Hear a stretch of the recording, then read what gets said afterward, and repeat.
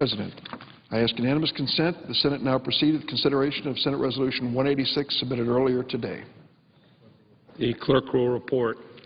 Senate Resolution 186, honoring the 100th anniversary of the United States Army Field Artillery School at Fort Sill, Oklahoma. Without objection, the Senate proceeds to the measure. I ask unanimous consent. The resolution be agreed to, the preamble be agreed to, and the motion to be considered be laid upon the table.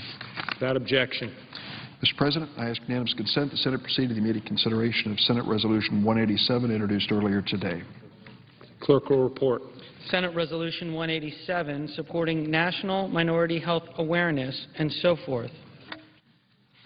Without objection, the Senate will proceed to the measure. Mr. President, I further ask the resolution be agreed to, the preamble be agreed to, the motion to reconsider be laid upon the table with no intervening action or debate, and that any statements relating to the measure be printed in the record at an appropriate place.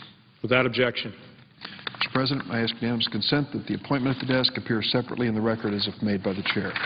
without objection, Mr. President, I ask unanimous consent that when the Senate completes its business today, it adjourn until 10 a.m. on Wednesday, May 18th.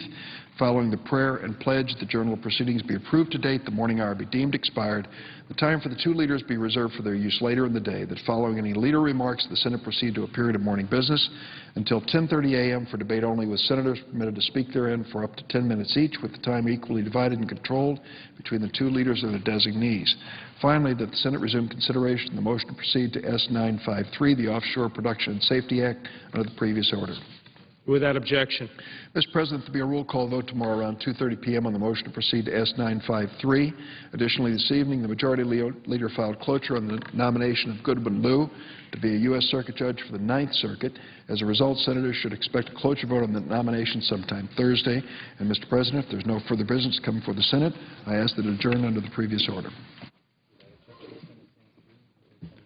Without objection, the Senate stands adjourned until 10 a.m. tomorrow. Today in the Senate, members approved the nomination of Susan Carney to be a judge on the Second Circuit Court of Appeals by a vote of 71 to 28. Senators then voted 50